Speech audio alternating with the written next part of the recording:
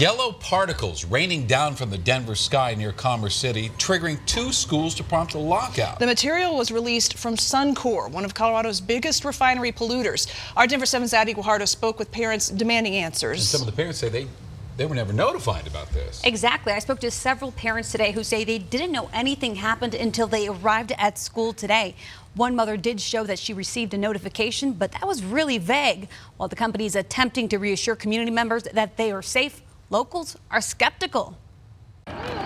Just after 4 p.m., students packed up and headed out. Parents like Lucy waited anxiously. I was freaked out. So right now, just confusion, really. Her daughter, an eighth grader, attends Adams City Middle School, one of two schools that went into lockout mode on Wednesday, just before 11 a.m., when particles began raining, creating a dusting on cars. That's dangerous. Those are the things that our kids are breathing. These are my neighbors. My, my child is in there.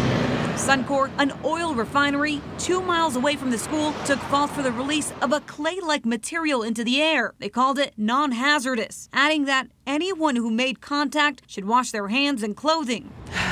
Well, explain to us what was it? What is what's out there? How does it how does it affect our animals, our dogs out there? How does it affect our children? Lucy, a single mother of two, moved to Commerce City six years ago. Can't afford to live anywhere else. Only a three minute drive from Suncor. The children and the elderly are the weakest among our community, and that is the people that is the most affected. Earlier this year, an investigation by the Denver Post exposed the company broke the limit for an invisible toxic gas that can be deadly and failed to tell neighbors. It's time that we get answers, really, and I believe they need to be held accountable. Now we did reach out to the Department of Public Health. They told our partners at the Denver Post they plan to review air monitoring data.